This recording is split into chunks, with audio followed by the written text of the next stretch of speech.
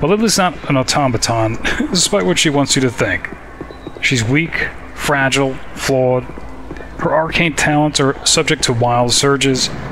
She has to imbibe potions to augment her mental processes in order to learn spells. She's easily frustrated, distracted. She lacks the determination she imagines a mage should have. In fact, she's blatantly lazy sometimes. And yeah, she thinks wealth and position will grant her happiness. she's far from perfect. In fact, she's usually too busy trying to keep up appearances. I trust that this current direction we're on will not continue. She's usually too busy trying to keep up appearances to notice she's slowly losing her soul. But I'll probably pick up uh, after we've spoken here with uh, Lady Jysstev at the Jysstev estate. Don't think What is it? Lilly's going to speak with the butler. Probably address uh, Lady Jysstev herself. At least this time, she has her natural elven complexion. I think last time she was here, she was under that skin condition. Stand where you're at, peasant. Who might you be and why are you in my estate? Make it quick. I have a tea to arrange. Alright, bringing up the hidden. The hidden? But you were not one of the enlightened ones. I guess probably making an appeal to her morality. Bringing up the little girl who was ill. It is forbidden to speak of him. So I guess it's uh the hidden is not maybe an organization but a person.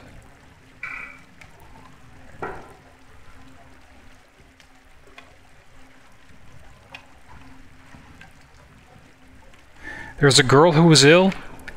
I should not say anything. Alright, again. Trying to make it personal, bringing. He? Her name? Jaella. I do not know where he is. Perhaps I can arrange a meeting. Oh, he shall be so angry. Listen then. Below the cursed hole of avarice called the Copper Coronet, there lies a maze of sewer shafts. Find the place if you can. The entrance lies within the tavern somewhere. Well, of course, we've already been there. Alright. It's interesting. I shall ask the Hidden to meet you there, but I do not know where he will be or if he will show up at all. This is all that I can do. Go now before you are seen here. Alright, so we have to return to the slums, enter the sewers beneath the Copper Coronet. What? Alright, so I'll continue the discussion. Lilly and Imoen. You have to imagine Lilly as an isolated adolescent girl in the quiet and scholarly setting of the Candlekeep Monastery. One of her only friends is another girl, Imoen. They become friends, if not best of friends. And then, at some point, Lilly's affections for Imoen begin to cross the boundaries of friendship. Maybe it started as some kind of infatuation, a crush on her best friend. Regardless, Lilly can't confide in anyone, not even Imoen herself, for fear of breaking their friendship. As it becomes apparent, Imoen's love for Lilly is platonic, not romantic. So, Lilly's desires become a secret that she has to repress. What should be a beautiful thing becomes a dark and ugly thing, and it poisons her heart, twists her soul. See, actually, there's a dark and perverse side of Lilly that actually hasn't fully revealed itself yet. Eventually, as Imoen and Lilly grow to adulthood, the relationship takes on the facade of normalcy as Lilly's outward signs of affection dwindle down to gifts, which we've seen, such as jewelry or fine garments. Lilly You believes must gather your party before venturing. Lily believes she will always love Imoen, and she cares for nobody more in the company. But sadly, it's no longer love, unbeknownst to her. She simply learned to keep her tokens of affection to a level acceptable to her dear Imoen. In fact, those affections have mainly manifested themselves now into Lilly's desire to nurture Imoen's development. Whether as an assistant, an, her aide, an attendant, an apprentice, or mageling, doesn't matter. Lilly simply likes the idea that she is somehow helping Imoen blossom, but never outside of her grasp. So, again, I was hoping that most of these things would have been conveyed in the subtext of the series, but just in case, I'm uh, mentioning it now explicitly. Then there's Jaheira. Of course, uh, we don't know anything about Lilly's mother, but uh, when Lilly What do you want?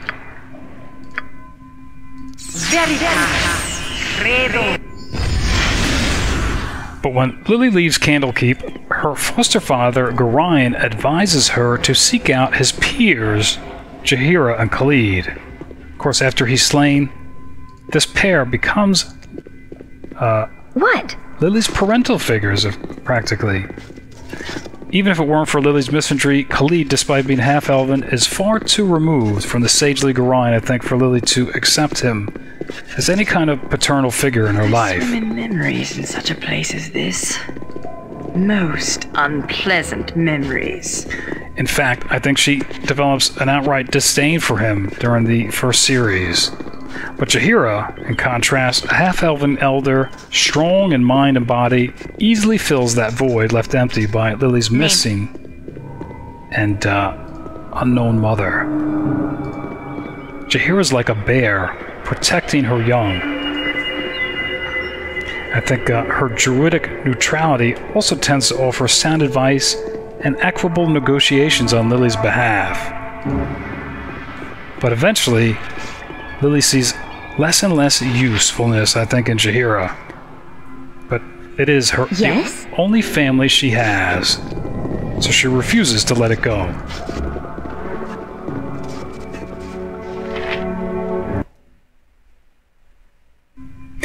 All right. Nature's servant awaits. So, Jaheira, approaching the hidden.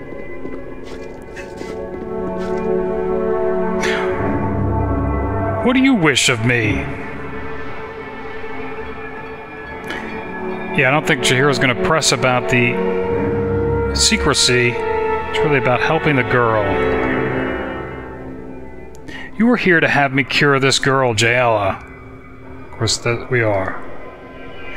It was not a question, fool. I do this because you have an aura of usefulness about you. Do a task for me, I shall heal the damage done to the girl's mind. We need to hear what the task might be. I'm being stalked by two creatures of evil intent. You will destroy these two for me, and you will do it well. Is that clear? I think I'll normally be tempted to uh, even take his life and see if he has the means to cure Jaella on him, but I don't think she's going to take that chance. I'm going to question about why they might be hunting him. But Jaheira is worried about the guarantee. I said without question, try to wrap your mind around the concept and listen. This chase has gone on too long and I grow bored. The two have a contact in the proprietor of a dingy flophouse in the docks district called the Sea's Bounty contacting the proprietor. He's talking about the thumb. Boy, these uh surprised we're getting this runaround. Okay. He will not believe that you have found me without the code words. Tell him that you are a seeker. He will tell you where the two lie, waiting for word of my whereabouts. Betray me to them, and I assure you both the girl and yourself shall die before I do. Go now and return when they are dead.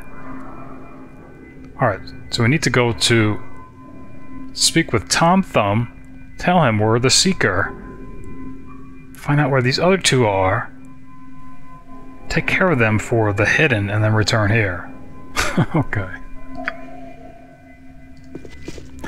Alright, so I guess con- What is it? I guess uh, continuing then with discussion of the women of Baldur's Gate and their relationship to Lilly. Dinah here, of course, rescued from the Gnoll Stronghold in the Cloud Peak Mountains. Of course, Lilly's interest in Dynaheir was professional, but she'd be lying if she didn't admit she was intrigued by the exotic but elegant invoker from faraway Rashemen. I think uh, actually served as Lilly's handmaiden, and she performed adequately, I think, until she died, of course, at the hands of Jon Irenicus here at the beginning of this series. You must gather your party. I should probably explain the title of Handmaiden. Lilly imagines herself the leader of a company. As such, she requires personal attendance, arcane handmaidens, if you will. This is not necessarily a formal rank and title. This is more part of Lilly's delusional vision of herself and her company. It could well be all just in her imagination. She expects her handmaidens to assist her by carrying and safeguarding her excess arcane implements like scrolls, potions, wands, robes, to aid her in the casting of mundane spells that she can't be must gather your that she can't be bothered to memorize, to avail themselves of her teachings and demonstrated I trust methods. that this current direction we're on will not continue. to avail themselves of her teachings and demonstrated methods of the art, to resign themselves and be content as her malleable and meek magelings, and yeah, even in the perverse recesses of Lilly's mind, to attend to her wanton desires. Of course, uh, this is all in her imagination, you have to remember. Then, of course, there's Branwen, of course, she was rescued at the Nashkel Carnival from a state of petrification. Liz's interest in Branwen was strictly professional. She was impressed, I think, with her physical prowess and actually ignored the divine talent she had from Tempus. But uh, I think she actually served as Lilly's captain occasionally and served with her all the way up to the battle with Sarevok Anchev at the Temple of Bhaal. We haven't actually heard from her again. I probably need to explain the title of captain, which, like Handmaiden, is not necessarily a formal rank and title. So I'll pick that up uh, after this.